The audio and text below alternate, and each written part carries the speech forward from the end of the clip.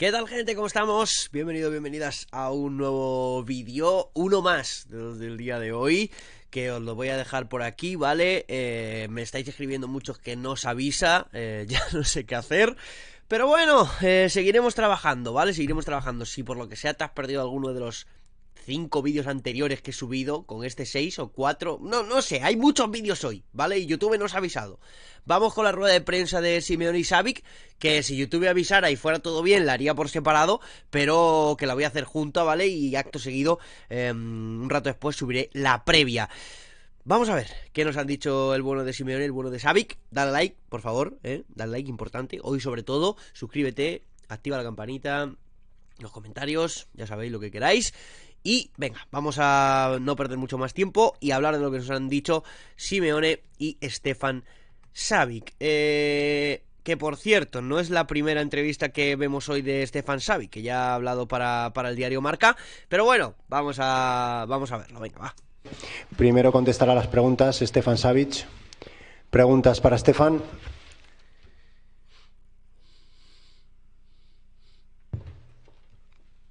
Preguntas para Stefan. Qué sobrado, ¿eh? ¿Cómo va sobradísimo, Savic, eh? Allí, Pablo.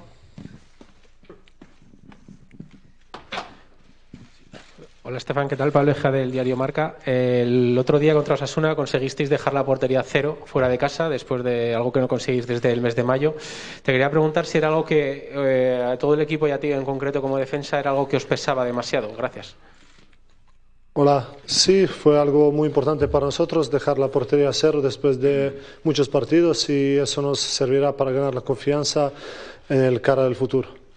Buena pregunta, para empezar, buena pregunta. Supongo que le preguntarán por Cristiano y todo eso, pero buena pregunta para empezar, ¿eh? Lo de la confianza. Qué importante es la confianza en un equipo, ¿eh? Y lo estamos viendo en el Atlético de Madrid reflejado a la perfección. Luis, en el centro.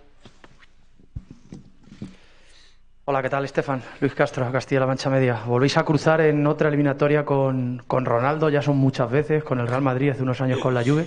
No sé si piensas otra vez cuando tocó el sorteo, madre mía, otra vez nos vuelve a tocar el, el mismo. Digo la verdad que ni pensé en eso, pensé solo en Manchester United porque es un gran club y es un gran rival y seguro hablando de Cristiano es un gran jugador, uno de los mejores de la, historia, de la historia, pero ahora es el nuevo partido, nuevo reto, nuevo club y nada, estamos centrados solo en el partido de mañana.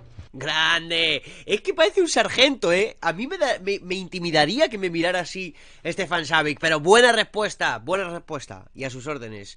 Mi querido... A ver, el comandante Jiménez, ¿qué, qué mote le podemos poner? Porque los que, los que le soléis poner no los puedo decir aquí porque me cancelan. Pero algún mote hay que, hay que ponerle. Más preguntas para Estefan. Por allí, José. Hola Estefan, ¿qué tal? Muy buenas, en directo para Radio Marca. Te quería preguntar por el esquema defensivo, eh, unos partidos con cuatro, otros con cinco, en 34 partidos creo que son 27 combinaciones diferentes. Joder, ¿eh? Para que luego digan que Simeone no trabaja la táctica. Para vosotros, para los jugadores, eh, ¿cómo os sentís? ¿Qué significa tanto cambio? Yo me siento bien en cualquier sistema, eso depende del, de lo que elige el míster, de, del adversario también. Otro día, por ejemplo, en Pamplona nos salió muy bien con la defensa de tres atrás y estoy acostumbrado a jugar en, en los dos sistemas y también eh, nos ha afectado muchas lesiones atrás eh, en, en, esta temporada y seguramente por eso el míster tenía muchos problemas para elegir el sistema y qué va a jugar, pero yo estoy a gusto con, lo, con, los dos sistemas. También te digo una cosa, ¿eh? También os digo una cosa. Vale, en principio podrías decir, sí, el Atleti tiene problemas por las lesiones, por eso tiene que hacer combinaciones distintas, no puede hacer las mismas combinaciones durante varios partidos eh, seguidos, por... pero también eso da riqueza al equipo. O sea, no sé al final qué 11 habrán puesto, pero, joder, leer ayer y durante la semana que, que iba a jugar Reinildo de, de central me ha dejado loco. O sea, me ha dejado loco. ¿Por qué? Porque contra Osasuna también se usó esa, esa, esa, esa combinación durante minutos. Y es más, ya que me volví a ver el partido por lo de Herrera, pensar que una vez ya marcamos el 2-0, Simeone se puso a hacer pruebas. Porque dejó a Osasuna que le empezara a eh, lanzar eh, centros desde una banda. Cuidado con eso, eh. Cuidado con eso que esta gente lo lleva milimetrado todo, eh. Javier en el centro. Sí, hola, eh, buenas tardes, Estefan. Eh, tú eres uno de los más veteranos en el vestuario. Te quería preguntar cómo ves al grupo de cara a este reencuentro con la, con, la Champions. ¿Cómo, cómo ves al, al, equipo para afrontar esta importante eliminatoria? Gracias. El equipo le veo muy bien, con mucha ilusión, porque todos sabemos cuánto es importante jugar la, la Champions League y es un partido diferente, una, una competición muy bonita donde todo, todos los jugadores lo quieren jugar y de verdad que esperemos este partido con mucha ilusión, todos unidos y a ver si, si sacamos un buen resultado mañana. Unidad y apoyo de la gente. Es lo que es el, es el, el mensaje claro de, de Savic y, de, y supongo que de, del equipo, ¿no? es que creo que es lo único que, que, hace falta y que, y que de verdad eh, puede ayudar al Atleti. Unidad y el apoyo de la gente, creo, para, sacar, para intentar sacar el mejor resultado posible. Una pregunta más. Por allí, Belén, a la derecha. Hola, Estefan Belén Sánchez para Jugones. Acabas de decir que lo importante es el grupo unido. ¿Cómo de importante es, después de todas estas semanas que se han hablado un montón de cosas, de si vestuarios, y si el futuro de Simeón o no, ahora parece que desde todos los estamentos otra vez se está hablando de unidad. ¿Cómo de importante es esa unidad para el grupo? Yo creo, además de palabras, como ha dicho Mister muchas veces, los cuerpos hablan mucho mejor que palabras. Yo creo los cuerpos hablaron el otro día en Pamplona que equipo está unido, que, que equipo sigue siendo unido hacia el mismo objetivo, que somos todos unidos incluso del vestuario y fuera del vestuario con nuestra afición y no tenemos ninguna duda que estamos en buen camino de sacar todo eso para adelante y estoy muy tranquilo y muy ilusionado para el partido de mañana. ¿Veis? ¿Veis? Con ilusión, todos juntos. Y es que me parece el mensaje correcto que se tiene que mandar ahora. Creo, ¿eh? No sé, a lo mejor algunos eh, queréis que os prometan que se van a romper los dientes hace falta, pero quiero decir, trabajo, ilusión, estar todos juntos, esfuerzo colectivo, ir todos al mismo objetivo. Creo, creo que después de, donde venimos, creo que es lo, lo, que, lo que se debe hacer. Pienso yo, ¿eh? Dejamos que Estefan continúe con sus compromisos con otros medios. Muchas gracias, Estefan. Y proseguimos con preguntas para Pablo. Adiós, Avic. A ver, don Simeone, ¿qué me vas a Hola, buenas tardes, Guillem Balaguer de CBS. Eh, uh, Guillem Balaguer, gran periodista Guillem Balaguer. ¿eh? Eh, usted ha hablado y también los jugadores en las últimas semanas de que las cosas no están saliendo como, como deberían. En una situación de dificultad, ¿usted prefiere aislarse con su cuerpo técnico y, mostrarse fuerte? ¿O compartir sus dudas con los jugadores y buscar una solución colectiva? ¿Qué, ha hecho en estas últimas semanas? Joder, eh. Hostia, qué pregunta más filosófica, ¿eh? Pregunta totalmente filosófica, ¿eh? Encontrar el equilibrio, que como todo en la vida es lo mejor que nos puede pasar cuando aparecen este tipo de situaciones. Sí, hola Diego, ¿qué tal? Este año se estrena en la Champions la nueva regla en la que se suprime el valor extra de los goles fuera de casa. En alguna ocasión te hemos escuchado comentar que con la anterior regla no veías una ventaja jugar la vuelta en casa. Te quería preguntar ahora, con el cambio de regla, ¿qué cambia? ¿Cómo lo valoras? Y si a la hora de plantear un partido que antes encajar goles como local era bastante perjudicial, si cambia algo el planteamiento. Esto me lo estaba guardando yo para, para la vuelta. O sea, para la vuelta, madre mía, para la previa. Pero ya que lo ha preguntado José Ignacio Fernández, no hay valor doble. Con esta nueva No hay valor doble. Si empatas aquí y empatas allí, vas a prórroga. Si pierdes aquí 1-0, ganas allí 1-0. O sea, si o sea, imagínate, ganas aquí 1-0 y allí pierdes 0-1, vas a prórroga. No valen los goles dobles. ¿Vale? Bueno, ese no es el mejor ejemplo, pero que han quitado lo de los goles dobles. No, no creo que cambie muchísimo el planteamiento de ningún entrenador. Simplemente que es más justo en el resultado final derecha, Antonio. Hola, Cholo. Aquí, buenas tardes. Eh, llegan los dos equipos, el Atleti y el Manchester, eh, con unas rachas ahí sacudidas por problemas. ¿Qué es lo que te parece más importante en un partido así, ¿no? en el que el rival también tiene muchos problemas? Eh, ¿Dar el primer golpe? tú has dicho siempre que los partidos de eliminatorios son 180 minutos, pero en este caso parecería muy importante, ¿no? En el primer partido marcar un poco el camino, ¿no? Bueno, nos vamos a enfrentar contra uno de los mejores equipos del mundo. Eh, que en los últimos 14 partidos, si no, no, no, he leído mal y no he visto mal los partidos, ha perdido solamente uno. El otro día... La llegada de su entrenador perdón, ha dado... El fin de semana sufrió contra el Leeds, ¿eh? Sufrió contra el Leeds, acabó ganando, pero sufrió contra el Leeds. Eh, solidez, le ha dado trabajo en equipo le ha dado compromiso. Eh, ya se muestra un equipo como siempre ha sido el Manchester, hoy está en la cuarta posición en, su liga, ha evolucionado de la llegada del entrenador que lo ha marcado seguramente al equipo de alguna manera porque se ve, pues es un equipo intenso, es un equipo dinámico, es un equipo de mitad de cancha hacia adelante muy valiente, con muy buenos futbolistas individualmente y que colectivamente intentan hacer un esfuerzo para poder reunir todo el talento que tienen en, en un mismo equipo. Eh, considero que el partido va a ser duro, difícil, como todos los partidos de Champions, pero con la ilusión de, tener nuestra gente, de estar en nuestro estadio y de al menos tener la suerte este año de, de poder jugar octavos en casa, que la temporada pasada por distintos motivos no nos tocó. ¡Ah! ¡Qué buena pullita! ¡Qué buena pullita! La quería soltar. La quería soltar Simeone. Es la típica de. La típica de ruedas de prensa que la quería soltar. Tremendo. Pullita de Simeone. A la izquierda, Pedro. Hola. Por aquí arriba, Diego. Pedro Follana, eh, de la cadena SER. Eh, el, el, fin de semana consiguieron una victoria importante para cortar esa mala dinámica de los últimos dos meses. Yo me gustaría saber a qué se agarra usted para pensar que este año pueden llegar lejos en la Champions. Eh, yo me agarro al día a día, eh, me agarro al crecimiento diario, a la búsqueda de, de, que el espíritu esté presente siempre. Y el otro día había un gran espíritu dentro del equipo. Y eso no hace falta eh, expresarlo con palabras de mi parte, sino se ve prácticamente el mensaje que, que, os hablaba antes, unidad, apoyo de la gente, espíritu de equipo, todos juntos, me parece bien. Creo que es el momento exacto y perfecto para soltar estos mensajes. Y Simeone lo hace muy bien. Y ojalá que mañana podamos tener ese espíritu porque de esa manera seguramente competimos muy bien siempre. Ah, no, queda... Sí, aquí, mister Alejandro Mori de Onda Cero. Eh, tenéis una baja de última hora muy importante, Coque. como es la del capitán, la de Coque, un jugador importantísimo en tu sistema, eh, pero la Champions no espera, hay que jugar sin él. Eh, ¿Cómo crees que puedes solucionar esta ausencia y qué esperas de tu equipo? Bueno, tenemos la, la, vuelta de Lemar también, que viene del COVID el día de ayer, que es un juego muy importante para nosotros, Carrasco que está suspendido, Coque que, que bueno, no, no va a estar este partido porque tiene unas molestias.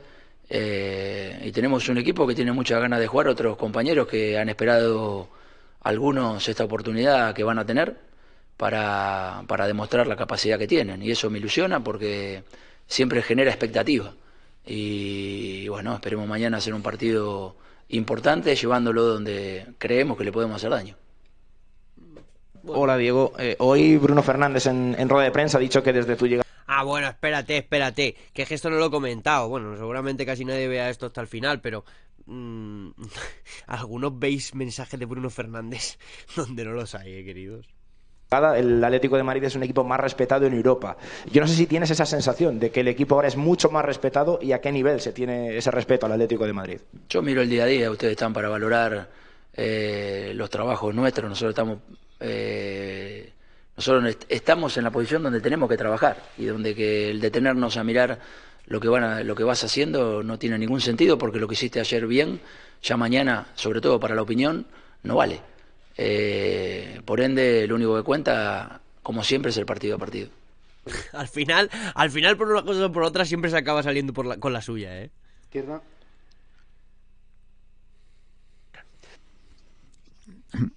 Una pregunta en inglés. Sí, amigo. ¿Sí? ¡Ole! Han solucionado la traducción simultánea, grandes. John Murray de la BBC ha, nos ha hablado de las, las de, digamos, la, las...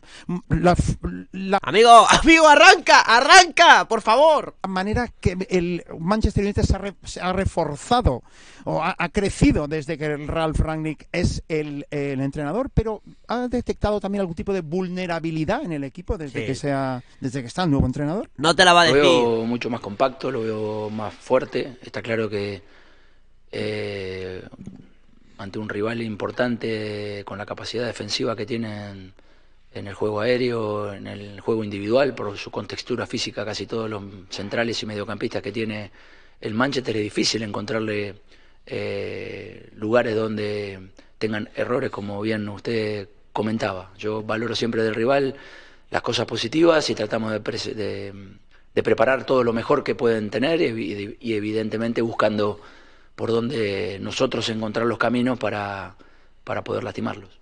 A derecha, Belén. Hola Diego, Belén Sánchez para Juanes. Tú muchas veces has hablado de You've spoken many times ¡Eh! about the four legs ¡Quita el inglés! that uh, Atletico has: the fans, the club, the players, etc., and and the uh, and the managing staff. How En cualquier trabajo, qué en cualquier empresa, en cualquier... qué importancia tiene eh, para todos la, el público. Eso es lo que ha querido decir. Macho, qué fallo, tío, de verdad. Que darle un botón, de verdad. lugar de, de, de- necesidad de resultados, es importante trabajar en, en común. Está claro de que los resultados en el fútbol son muy importantes para todo lo que pueda suceder posteriormente, pero el día a día es clave y nosotros vivimos el día a día. Y hoy, como bien reflejás, eh, tenemos la suerte de estar en un momento donde todos buscamos el mismo camino.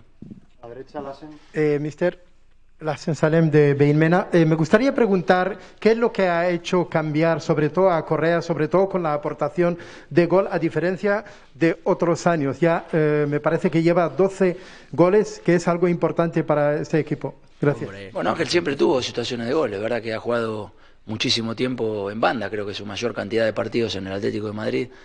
Ha jugado más como cuarto de la derecha que como segundo delantero, siempre él reclamando que su posición era de delantero, pero claro, convivíamos con también compañeros importantes y veía que la posibilidad de él de no perderlo era acomodarlo en otro lugar para que sufriendo lo tengamos eh, dentro del campo porque hace cosas diferentes y tiene un corazón, como bien ya lo explicamos mil veces, enorme en consecuencia de lo que el equipo necesita. Lo que sí ¿eh? ha mejorado en la tranquilidad, en la tranquilidad para resolver situaciones de gol que siempre ha tenido y este año evidentemente está teniendo la fortuna de tener esa paz que necesita un delantero para el momento del gol.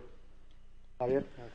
Hola, mister. Buenas tardes. Javier de Diego, Radio Nacional de España. Eh, Yo te quería preguntar si la pareja Joao Félix Correa, después de la actuación que tuvo el otro día en el Sadar, se ha ganado el derecho a Hombre, por supuesto. ser titular mañana en el partido ante el Manchester United. Gracias. A, a ver, de vuelta la pregunta. ¿Cuál es? Perdóname. pues- Que si va, a ver, sí que lo, con lo fácil que decírselo, si te va a decir lo mismo, que si Joao y Correa van a ser titulares. Te estaba buscando y no te veía.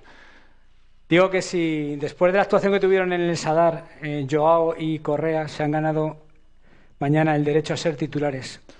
No, no hablo de derechos, hablo de momentos, hablo hablo de partidos y Luis hizo un partido muy bueno desde todos los lugares, hizo un gol extraordinario y la verdad que tuvimos la suerte que los tres delanteros que tenemos en el equipo, más la entrada de Griezmann, que de a poco va empezando a estar mejor y que lo vamos a necesitar porque es un jugador con una jerarquía eh, diferente y con una capacidad de gol muy buena y de trabajo muy buena. Tenemos cuatro delanteros que cualquiera puede jugar. Ojalá que tenga la lucidez, como el otro día, de que estén Ojalá. los tres y que los tres hagan goles. Ojalá. Cristina, a la derecha. Hola Diego, ¿qué tal? Aquí Cristina García Mediaset.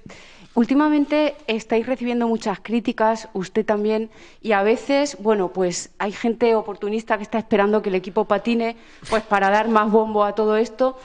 Hostia, eh. Te da que pensar que alguien de Mediaset eh, tilde de oportunista, ¿no? A alguien, ¿no?